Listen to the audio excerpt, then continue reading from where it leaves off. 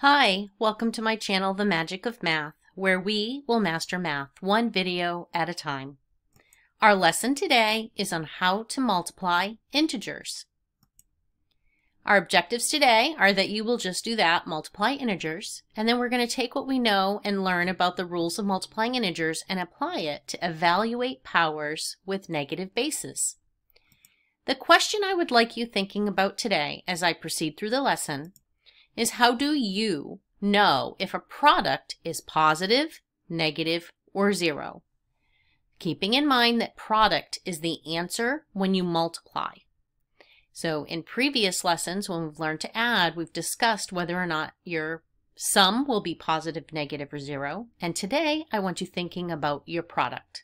Before you multiply, think, will your product be positive, negative, or zero? Let's review some multiplication properties that could make your multiplying easier for you. So as this should be review, multiplication property of 0 states that any value multiplied by 0 will have a product of 0.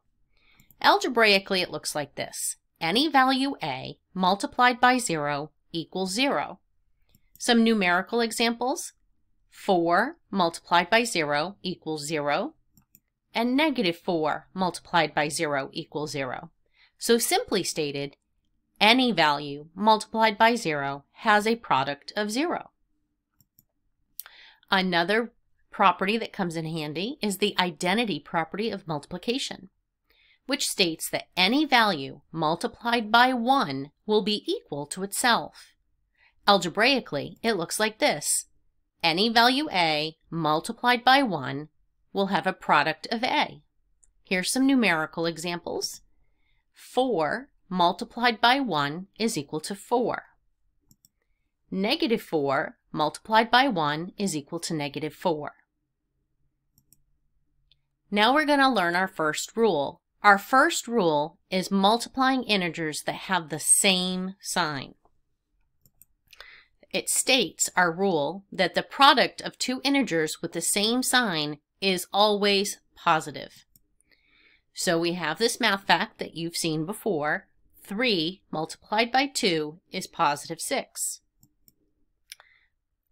Negative 3 multiplied by negative 2 is also positive 6. Notice that the factors 3 and 2 are both positive. Here, the factors 3 and 2 are both negative. And they both have a product of 6. So our rule states that a positive multiplied by a positive equals a positive, and a negative multiplied by a negative also equals a positive. So you can identify that when you look at the multiplication fact, if both integers have the same value, then you know your product will be positive. Your turn.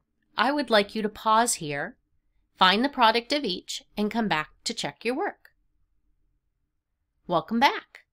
Hopefully you got these solutions. Positive 4 multiplied by positive 7 is a positive 28. Both integers are positive.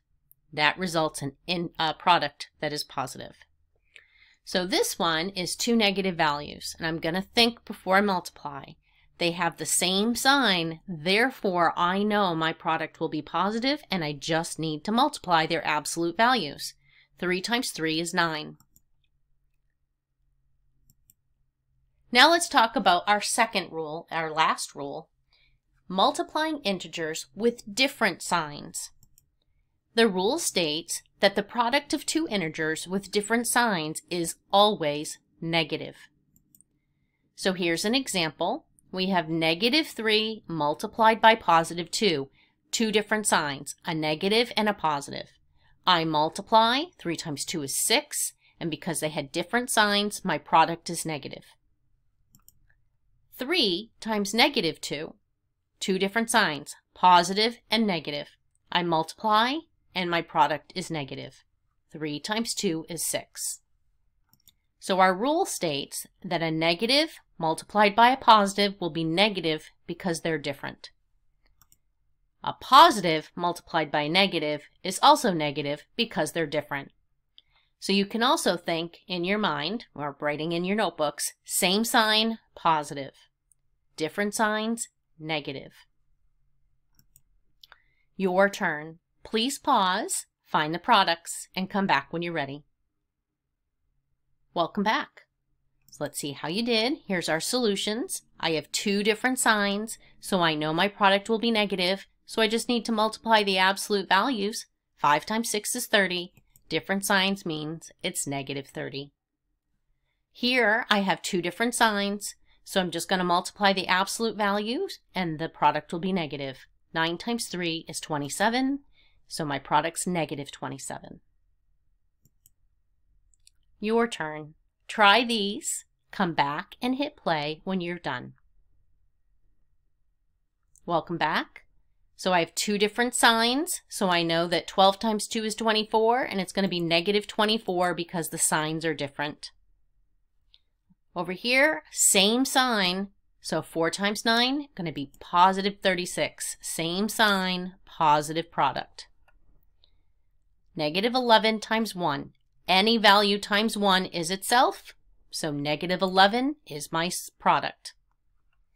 Over here, I have three numbers being multiplied together, but because one of them is 0, I know that the 0 product uh, zero property of multiplication tells me this is going to be zero because even if I did these two first, 2 times negative 4 would be negative 8. Negative 8 times 0 is 0. So because it's repeated multiplication and one of the values is 0, my product will be 0. Now let's talk about exponents. First, we need to understand what this expression represents. The entire expression, a to the n, representing an exponential expression, is a power.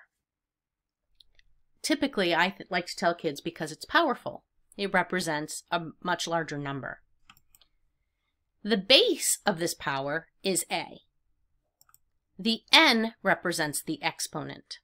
So again, this entire expression isn't an exponent. It's a power, and the power is made up of a base and an exponent. Now we need to understand how to evaluate a power. So I have this power 4 cubed, or 4 to the third. So my base, that's my power, my base is 4, my exponent is 3. My exponent tells me how many times to repeatedly multiply my base.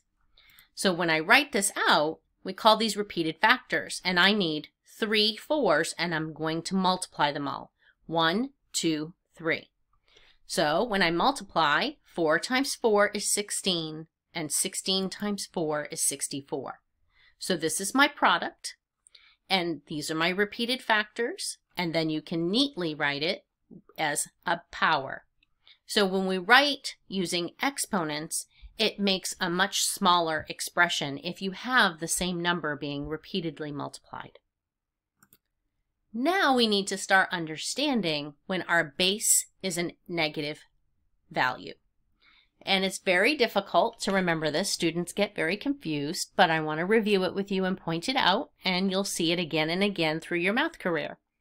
So we need to know that our base must be in parentheses if it's a negative number that is being raised to this exponent. So this power is very different than this power. So in this power, my base is negative 2 and my exponent is 2. In this power, my base is just the 2 and my exponent is 2. So my base here is not negative 2. So think of it as this exponent being attached to your base. So this is kind of like there's an invisible 1 here. Negative 1 multiplied by 2 squared. Or sometimes students like to think of it as 2 squared and make it negative. So let's break this down. So what this is saying is my base is negative 2 because it's trapped in the parentheses, and I want to multiply it by itself two times. So I need a negative 2 times a negative 2. They have the same sign, so when I multiply, I'm going to get a positive product. 2 times 2 is 4. How this is different is we need to know that we're only using the exponent to the base of positive 2 because there are no parentheses. So this negative sign is not trapped as part of the base. So I'm going to keep my negative sign outside, but my repeated factors are positive 2 times positive 2, which is 4, and then I need to make it negative. Again, think of this as a negative 1. Negative 1 times 4 is negative 4. Over here, we have a base that's trapped. Think of it as being trapped. If it's not trapped, then it's a positive base. So this is a negative base of negative 2, and I need three negative 2's. So when I write it out as repeated factors, it's negative 2 times negative 2 times negative 2. Now you have to be very careful when your base is negative. So think about it as anytime it's an odd number, your product's going to be negative. And if it's an even number of negative bases, then you're going to have a positive. So let's prove this. Negative 2 times negative 2, both values are negative, so I know because they have the same sign, it's going to be a positive product. So negative 2 times negative 2 is positive 4. Multiplied by negative 2, I have different signs, and 4 times 2 is 8, so my product is negative 8.